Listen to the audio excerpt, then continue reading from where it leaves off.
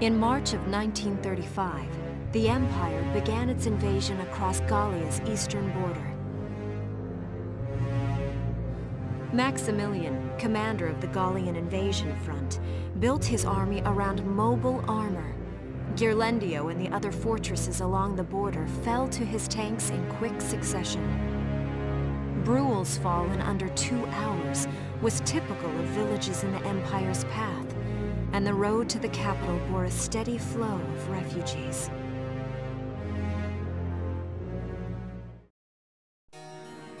Randgriz, Gallia's capital, a town secure and stable since ancient times. Within its walls stood the castle Randgriz, and within its unicorn spire resided Cordelia, Gallia's princess.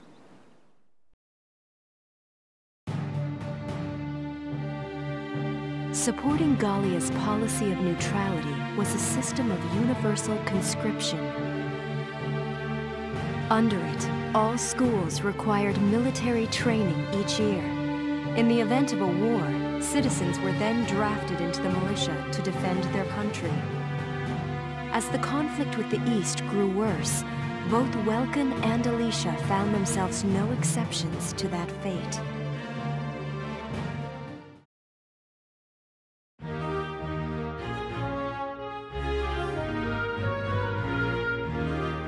So these are my new digs. Oh, my uniform. I should get changed before reporting in. Better get ready now.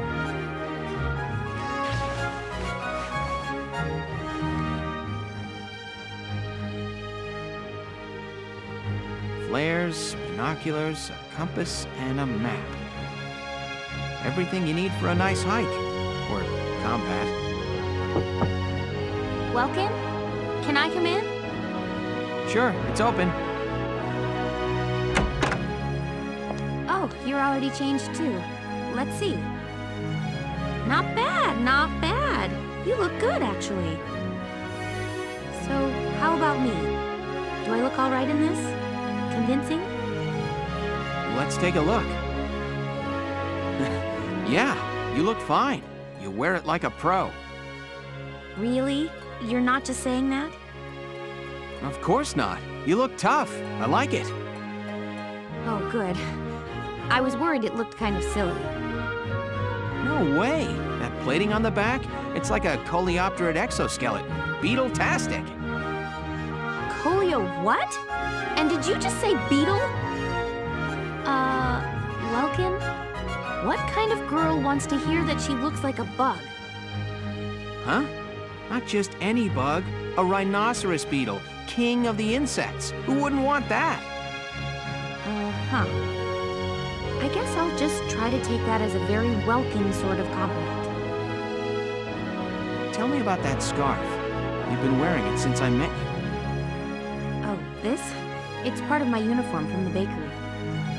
Is that right? I don't want to forget the time I spent busting my buns baking.